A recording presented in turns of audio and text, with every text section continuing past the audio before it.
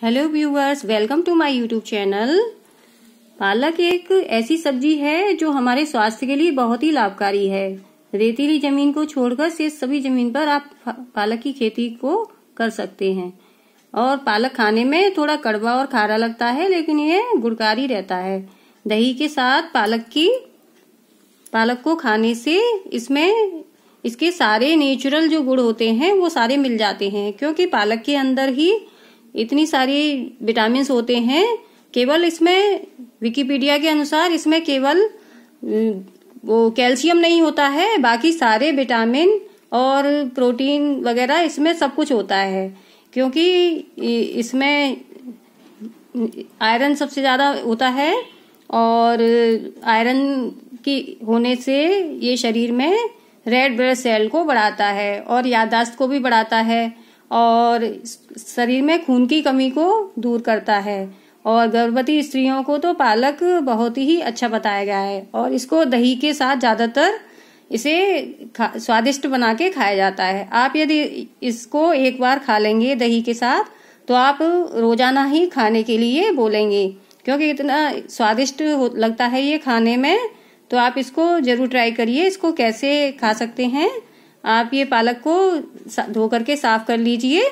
और कच्चा पालक खाने का तरीका बता रही हूँ मैं। ऐसे ही आपको नहीं खाना है, क्योंकि इसमें पेस्टिसाइड होते हैं। तो आप इसको one two three four five second के लिए हाथ जैसे सिकता है, ऐसे गर्म पानी में डालिए और उसको जल्दी से निकाल के आइस क्यूब डले हुए ठंडे पानी में डाल दीजिए। केवल फाइव सेकेंड के लिए डालना है, ज़्यादा देर नहीं डालना है।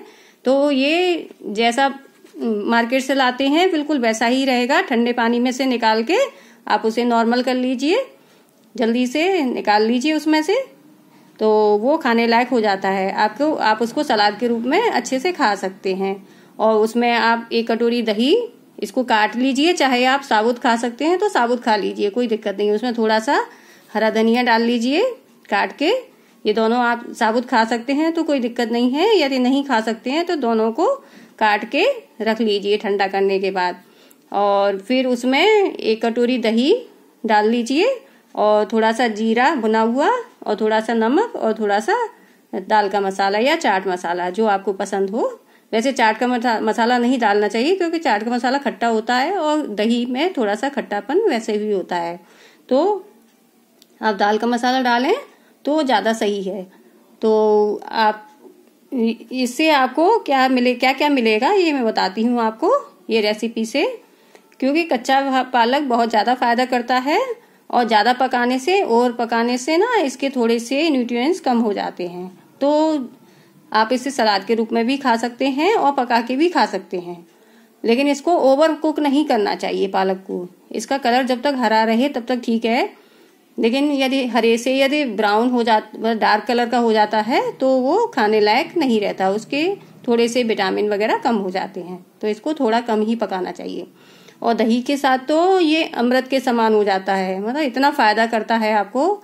इसमें सारे विटामिन कैल्शियम कैल्शियम दही से कैल्शियम मिलता है और विटामिन सी भी मिलता है और सारे विटामिन आपके ये पालक और धनिए में होते हैं। तो ये शरीर को वेट लॉस भी करता है ये। ये जो रेमेडी है, ये वेट लॉस में भी काम आती है और सारे न्यूट्रिएंट्स भी आपको दे जाती है। और इसके अलावा आप किस किस तरह से पालक को खा सकते हैं?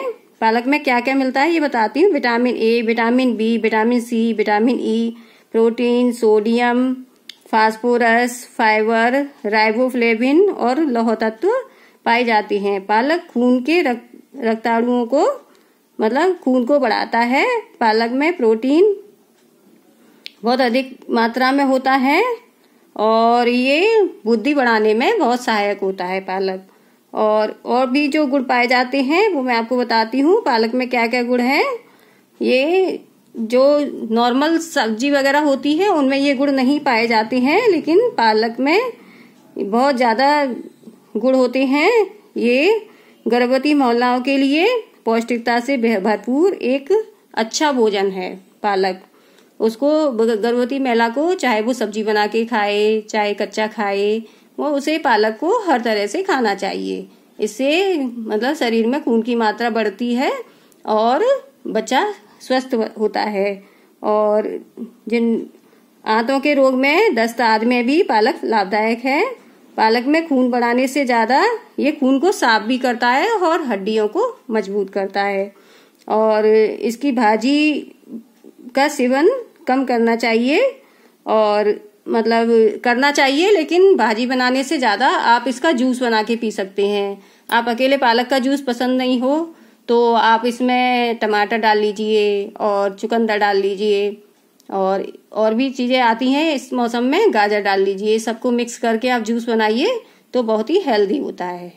तो आई होप आपको ये वीडियो पसंद आया होगा और पालक के गुड़ इतने हैं कि मैं गिना नहीं सकती हूँ। तो आप इस मौसम में पालक खूब अच्छा खासा आ रहा है। तो रोज़ाना पालक आप भी खाइए, बच्चों को खिलाइए, बड़े बुज़ुर्ग भी खा सकते हैं मतलब कोई भी किसी भी एज का व्यक्ति खा सकता है। लेकिन इसको बहुत ज़्यादा नहीं खाना चाहिए। एक कप एक व्यक्ति के लिए पालक काफ़ी है। एक एक कप पालक और एक कटोरी दही और थोड़ा सा धनिया और ये थोड़े से मसाले ये स्वाद को बढ़ाते हैं तो इतना काफ़ी है, इससे ज़्यादा नहीं खाना चाहिए, क्योंकि ज़्यादा खाने से आपका पेट भी खराब हो सकता है। तो आई होप आपको मेरा ये वीडियो पसंद आया होगा, समझ आया होगा तो मेरे चैनल को लाइक करें, शेयर करें, एंड सब्सक्राइब करें।